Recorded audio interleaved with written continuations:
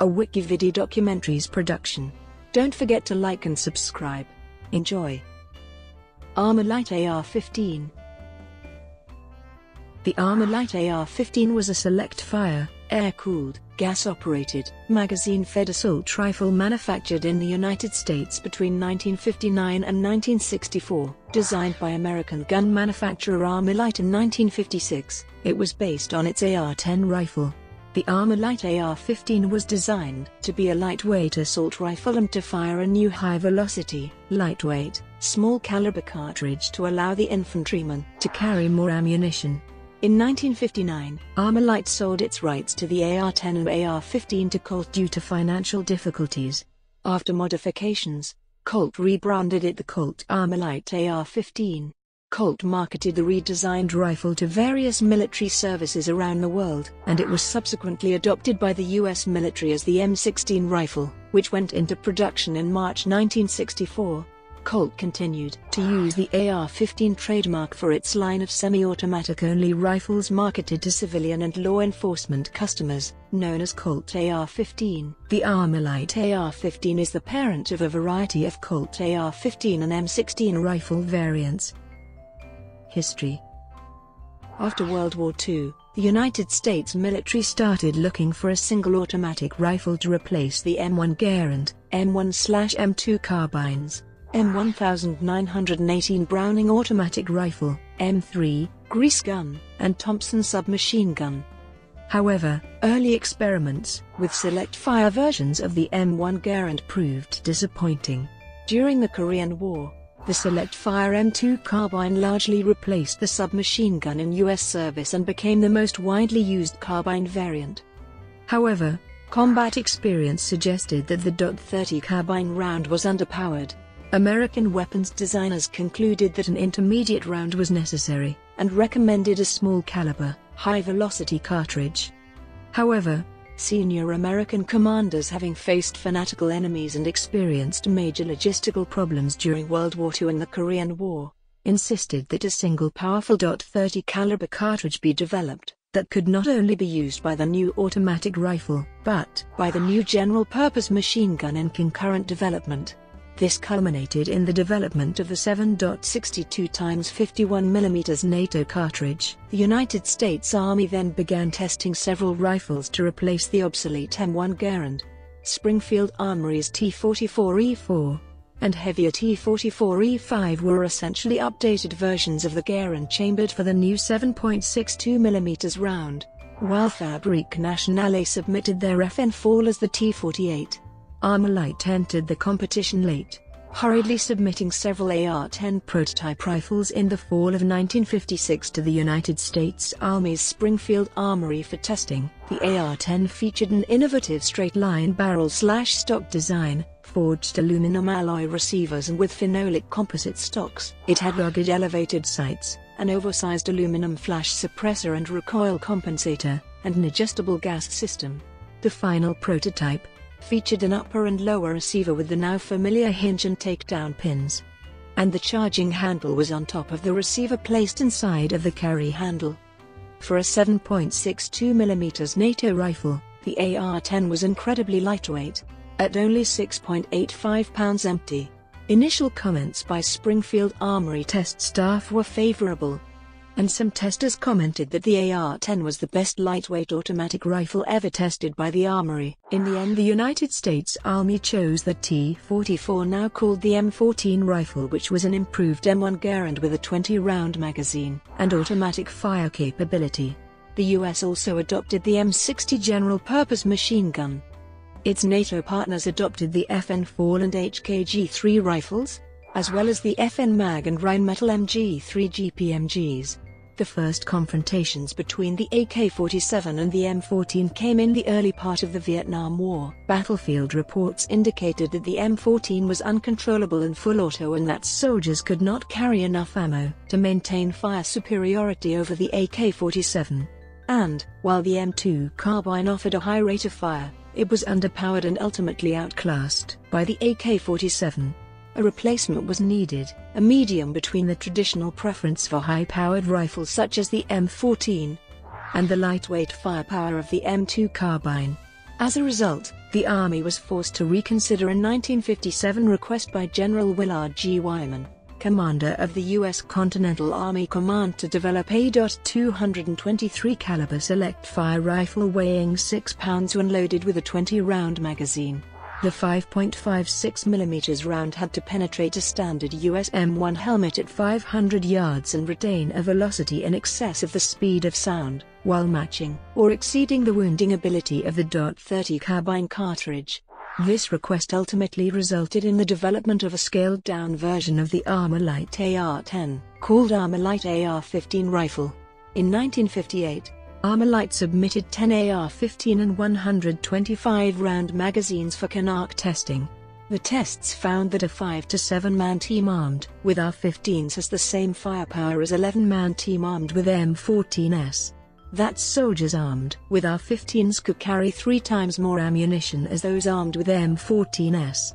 And that the AR-15 was three times more reliable than the M14 rifle. However, General Maxwell Taylor, then Army Chief of Staff, vetoed the AR-15 in favor of the M14. In 1959, Armalite now frustrated with the lack of results and suffering ongoing financial difficulties, sold its rights to the AR-10 and AR-15 to Colt. Colt era After acquiring the AR-15, Colt promptly redesigned the rifle to facilitate mass production. Based on the final Armalite design, most notably, the charging handle was relocated from under the carrying handle, like the earlier AR-10 to the rear of the receiver, like the later M16 rifle. Colt then renamed and rebranded the rifle, Colt Armalite AR-15 Model 01, after a Far East tour. Colt made its first sale of Colt Armalite AR-15 rifles to Malaya on September 30, 1959. Colt manufactured their first batch of 300 Colt Armalite AR-15 rifles in December 1959. Colt would go on to market the Colt Armalite AR-15 rifle to military services around the world. In July 1960, General Curtis LeMay, then Vice Chief of Staff of the United States Air Force, was impressed by a demonstration of the AR-15 and ordered 8,500 rifles. In the meantime, the Army would continue testing the AR-15 finding that the intermediate cartridge .223 rifle is much easier to shoot than the standard 7.62mm NATO M14 rifle. In 1961 marksmanship testing, the U.S. Army found that 43% of AR-15 shooters achieved expert, while only 22% of M14 rifle shooters did so. Also, a lower recoil impulse allows for more controllable automatic weapons fire. In the summer of 1961, General LeMay was promoted to Chief of Staff of the United States Air Force and requested an additional 80,000 AR-15s. However, General Maxwell D. Taylor, now chairman of the Joint Chiefs of Staff, advised President John F. Kennedy that having two different calibers within the military system at the same time would be problematic and the request was rejected. In October 1961, William Godel, a senior man at the Advanced Research Projects Agency, sent 10 AR-15s to South Vietnam. The reception was enthusiastic, and in 1962, Another 1,000 AR-15s were sent. United States Army Special Forces personnel filed battlefield reports lavishly praising the AR-15 and the stopping power of the 5.56mm cartridge, and pressed for its adoption. The damage caused by the 5.56mm bullet was originally believed to be caused by tumbling, due to the slow 1 in 14 and rifling twist rate. However, any pointed lead core bullet will tumble, after penetration in flesh, because the center of gravity is towards the rear of the bullet. The large wounds observed by soldiers in Vietnam were actually caused by bullet fragmentation, which was created by a combination of the bullet's velocity and construction.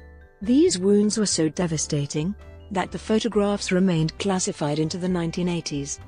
However, despite overwhelming evidence that the AR-15 could bring more firepower to bear than the M14, the Army opposed the adoption of the new rifle.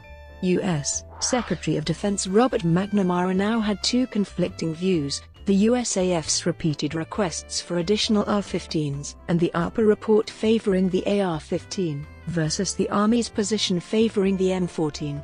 Even President Kennedy expressed concern, so McNamara ordered Secretary of the Army Cyrus Vance to test the M14, the AR-15 and the AK-47.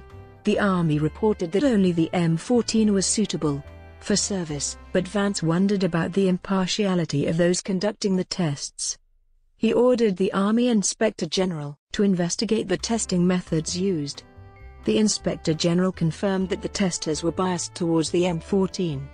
In January 1963, Secretary McNamara received reports that M14 production was insufficient to meet the needs of the armed forces and ordered a halt to M14 production. At the time, the AR-15 was the only rifle that could fulfill a requirement of a universal infantry weapon for issue to all services. McNamara ordered its adoption, despite receiving reports of several deficiencies, most notably the lack of a chrome-plated chamber. After minor modifications, the new redesigned rifle was renamed the rifle, caliber 5.56mm, M16.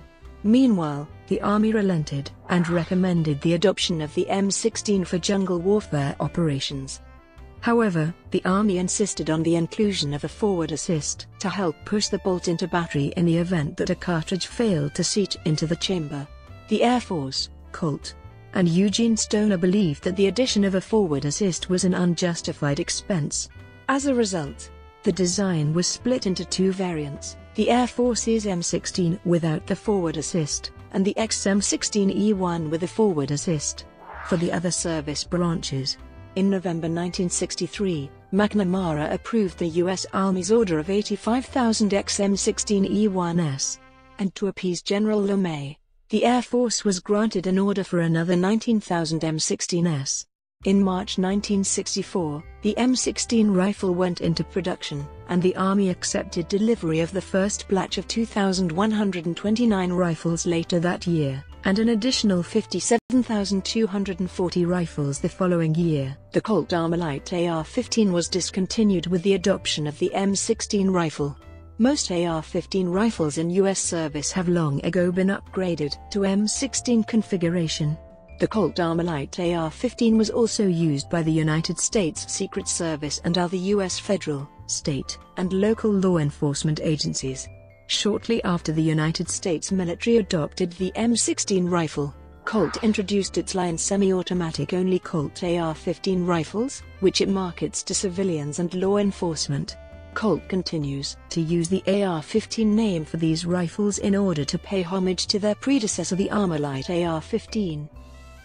Armalite AR-15 The AR-15 is a select fire, 5.56 x 45 mm, air-cooled, direct impingement gas-operated, magazine-fed rifle, with a rotating bolt and straight-line recoil design. It was designed to be manufactured with the extensive use of aluminium and synthetic materials by state-of-the-art computer numerical control automated machinery. The AR-15 is a modular weapon system it is easy to assemble, modify, and repair using a few simple hand tools and a flat surface to work on. The AR-15's upper receiver incorporates the forestock, the charging handle, the gas operating system, the barrel, the bolt and bolt carrier assembly. The lower receiver incorporates the magazine well, the pistol grip, and the buttstock. The lower receiver also contains the trigger, disconnector, hammer and fire selector. The AR-15's duckbill, flash suppressor had three tines or prongs and was designed to preserve the shooter's night vision by disrupting the flash. Early AR-15s had a 25-round magazine. Later model AR-15s used a 20-round waffle-patterned magazine that was meant to be a lightweight, disposable item. As such, it is made of pressed slash stamped aluminum and was not designed to be durable. The AR-15's most distinctive ergonomic feature is the carrying handle and rear sight assembly on top of the receiver. This is a byproduct of the design, where the carry handle serves to protect the charging handle. The AR-15 rifle has a 500mm sight radius. The AR-15 uses an L-type flip, aperture rear sight and it is adjustable with two settings, 0 to 300 meters and 300 to 400 meters. The front sight is a post adjustable for elevation. The rear sight can be adjusted for windage. The sights can be adjusted with the bullet tip, or pointed tool. The Stoner system provides a very symmetric design that allows straight-line movement of the operating components. This allows recoil forces to drive straight to the rear. Instead of connecting or other mechanical parts driving the system, high-pressure gas performs this function, reducing the weight of moving parts and the rifle as a whole. The AR-15 straight-line recoil design, where the recoil spring is located in the stock directly behind the action, and serves the dual function of operating spring and recoil buffer. The stock being in line with the bore also reduces muzzle rise, especially during automatic fire, because recoil does not significantly shift the point of aim. Faster follow-up shots are possible and user fatigue is reduced. Brought to you by Wikividi Documentaries. Would you like to know more?